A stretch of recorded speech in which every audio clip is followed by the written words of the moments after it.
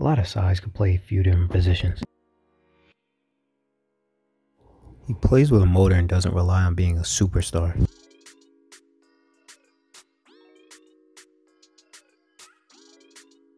GG Jackson is a really good athlete as well. Uses his length, uses strength, uses size.